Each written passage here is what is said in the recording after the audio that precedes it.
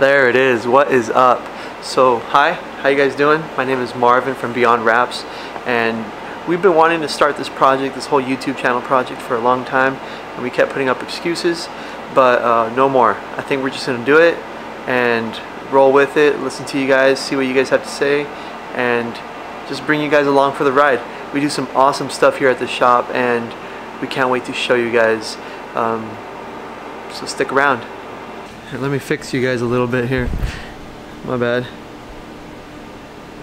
I think that's a little better. I don't know. I don't know how to do this stuff, but uh, we are going to be wrapping just the hood on this 2020 4Runner. And yeah, 2020. It's pretty sweet.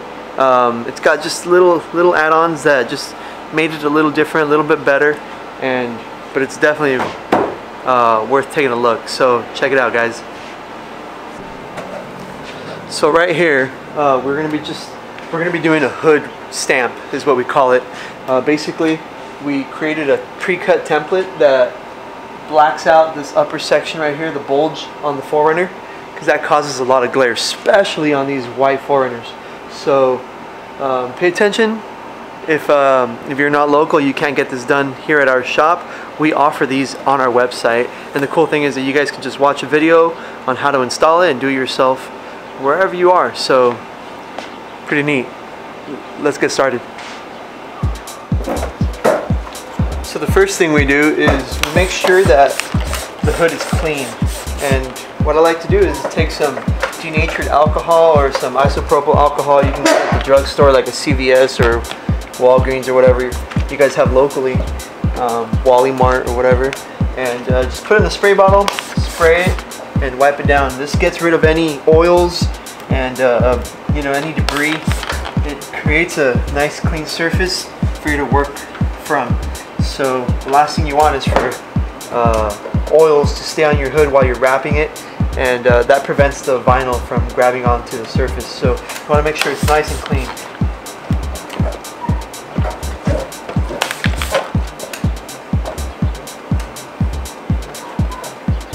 Another little tip is, even though you're only wrapping this upper section right here, you want to make sure to clean all around the hood so that you guys have the cleanest surface possible.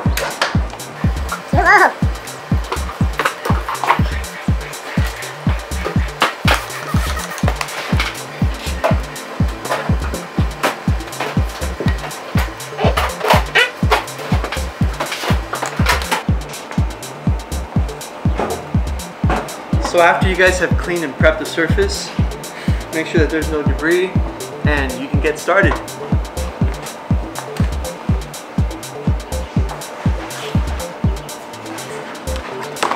So what we like to do is um, you'll receive like a rectangle uh, in your packaging. This will have extra paper attached to it. And what we ask you guys to do is just trim along the edge about an eighth of an inch away from the actual wrap so that you have a better idea of the shape and, and you'll you'll know why in a little bit. But once you've trimmed it down just around the shape of the stamp uh, go ahead and place it over the hood. And if you've trimmed you'll be able to see you'll, you'll, you'll be able to better place the stamp where it needs to be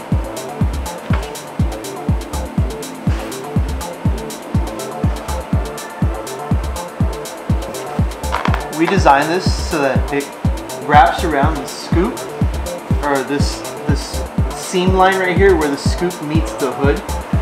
Um, we've designed it so that you could you would leave about a quarter inch to 3 16 no not 3 16 sorry like about a quarter inch gap in between them.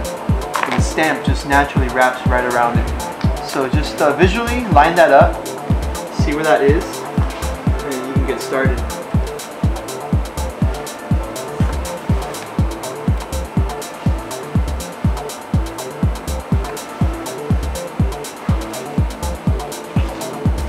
Now in order to hold this down, we use magnets. You can buy these on Amazon, but they're just little wrap magnets that have little silicone so they won't damage anything. And cool thing is that it just holds it in place. Once you guys have the right spot. We're pretty happy with this section right here.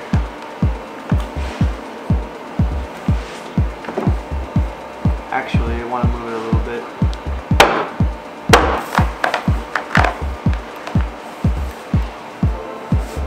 There we go. Just make sure it's good.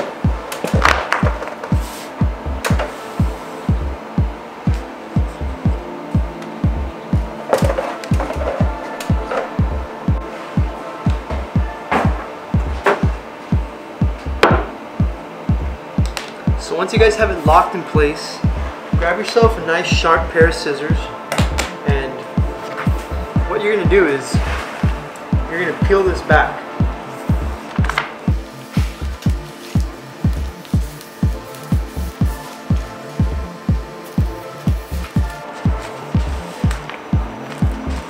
You're going to have to go over the magnets. What you want to do is you want to go a little less than halfway. You can see that. And we're gonna cut this paper off using the sharp scissors.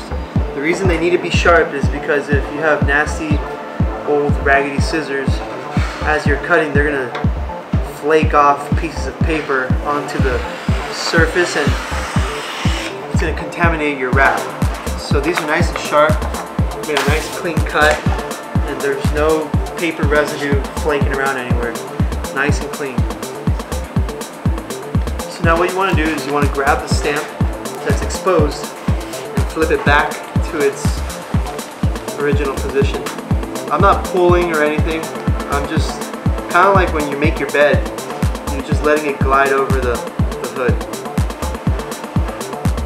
So you just want to let it drop with this section right here.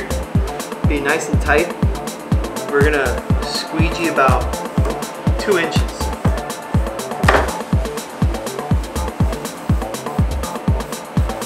Lock it in place. That's pretty much what we're doing right now. We're locking it in place. So now go back, pick this up, and just pull it until you reach that section that you locked. And what you wanna do is you just wanna grab the center of it, just like this. I'm not pulling too hard, I'm just creating a little bit of tension. And I'm squeezing. The reason we're doing this is the, so that we can work, work the vinyl into its natural position without leaving any wrinkles. So, and I'm pulling where I'm squeezing, if that makes sense. If I start to squeegee in this section, I'm pulling directly behind it. So if I move to the center, I move my hand to the center. If I move my way back, I move my hand back here so that I can pull in the rear.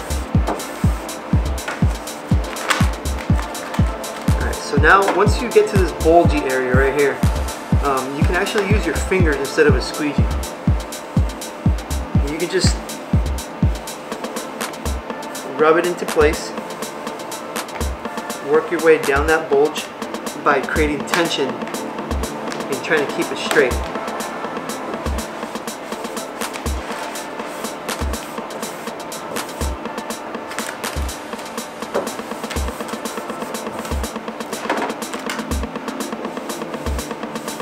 So I'm just using my finger working the vinyl into that section.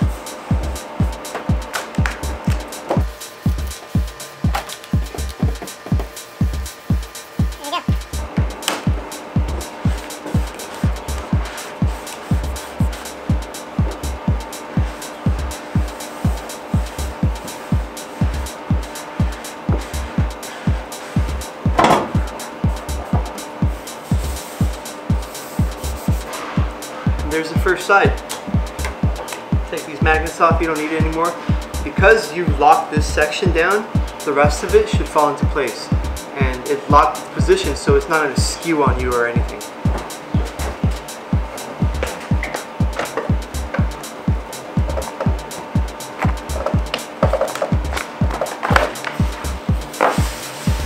So what I'm doing here is I'm pulling back the paper, I'm leaving it on the wrap the wrap is, I'm, I'm, I'm keeping the, the liner. And um, that way you don't, you're not exposing the whole thing and it'll give you a spot where you can pull a little bit here without having to stretch the vinyl. And I'm not tugging it really hard, I'm just creating tension, remember. I'm just creating tension so that the vinyl can lay out flat. So with the liner underneath, fold it over, creating tension a little bit, and just holding it in place. When I'm holding it in place, this area right here, because of the tension, is flattening out. All I need to do is just bring my squeegee over and seal the deal.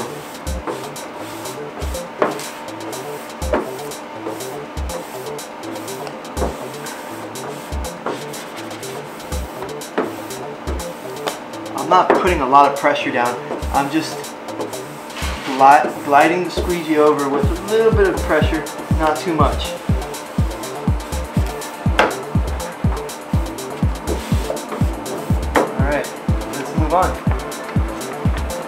Back about five inches. And keep going.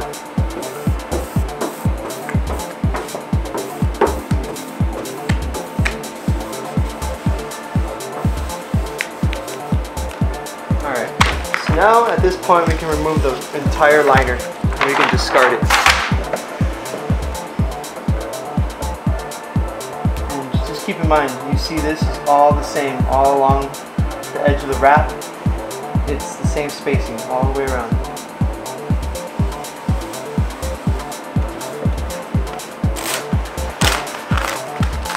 So same thing we did on the opposite side.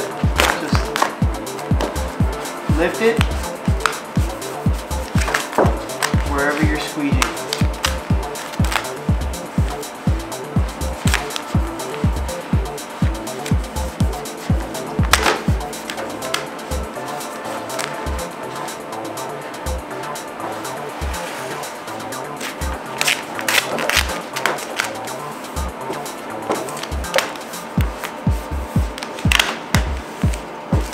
I am not tugging very hard. I'm just pulling enough to get rid of some of those wrinkles flatten it out, giving me some time to squeegee it.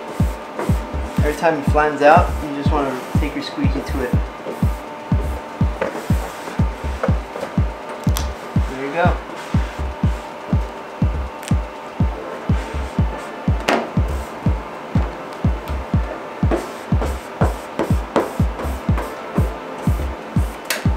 Take you guys off the, off the tripod and bring you guys a little closer to the to the stamp so you can see some of the detail that we did here. Alright, so you see that this is the, the gap that I'm telling you about. That's usually what you want to end up with. It's about a quarter inch all the way around. And the stamp is designed to, once it goes past this little bulgy area right here, it'll continue to stay in that same gap distance.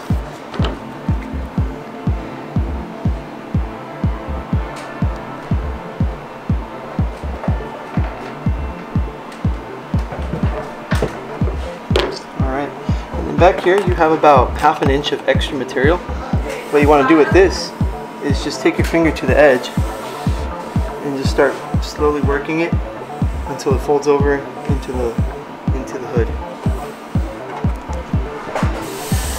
Same thing with the other side. Just take your finger, slowly start rubbing, and you'll see it. You'll feel the vinyl just start to stick onto the surface and start folding over. You don't want to do it all at once, you just want to gradually take your finger and, and work it back there. It takes about four to five passes until you're good. But yeah, there we go. It's all good, it's all done.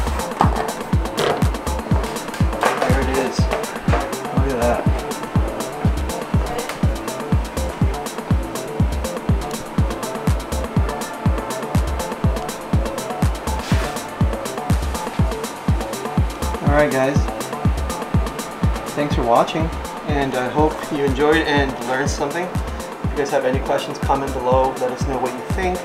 And if uh, you install this on your vehicle, make sure to tag us on Instagram, send us pictures, let us know how it went for you guys. Take care. Alright, that wasn't too hard, was it? So, what do you guys think? That thing looks awesome. If, uh, if you guys are doing this at home, uh, just be patient with it. Uh, you don't. Uh, make sure that you're in a controlled environment like a garage door, like a garage like this. And um, yeah, sorry, I'm. You guys are getting freaking dizzy, huh? I keep looking at myself over here, but I'm supposed to look here. I don't know. I'm new to this stuff. If you guys have any questions, let us know. If you guys install this at home, make sure that you guys are doing it inside a garage. Make sure that the hood has cooled down. Don't do this right after you got home from work because the hood's gonna be really hot and the heat activates the adhesive on the vinyl and then it no longer becomes easy, it becomes a nightmare and you guys will probably throw away that hood stamp and it's just a waste of money. I don't want you guys to go through that. I want you guys to be successful in your wrapping experience. So make sure that the hood cools down. Maybe do it on a Saturday morning after you guys have eaten some pancakes with the family. You know, spend about an hour doing this project. It, shouldn't take too long. It's, it's pretty quick. And um, just make sure it's clean.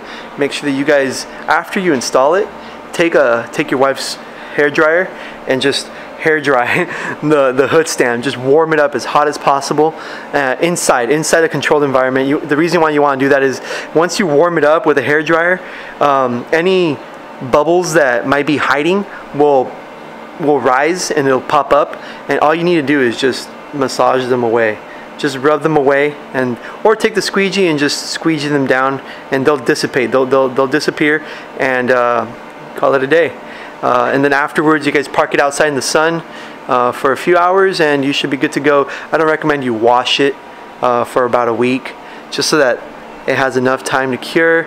Um, by curing, I mean um, en enough heat from the sun. So if the more heat it takes from the sun, the, the sooner it'll settle onto the hood. So yeah, hope you guys enjoyed. Check it out let us know what you think. If you guys have done this, comment below, let us know how it went, and we'd like to help you guys out. If uh, this is your first time attempting this and you're watching this video to help you out, um, just be patient. Give us a call, 714-443-1500, and we'll be more than happy to walk you through it and help you out. But I hope this video helps. Comment below if you guys have any questions. Take care.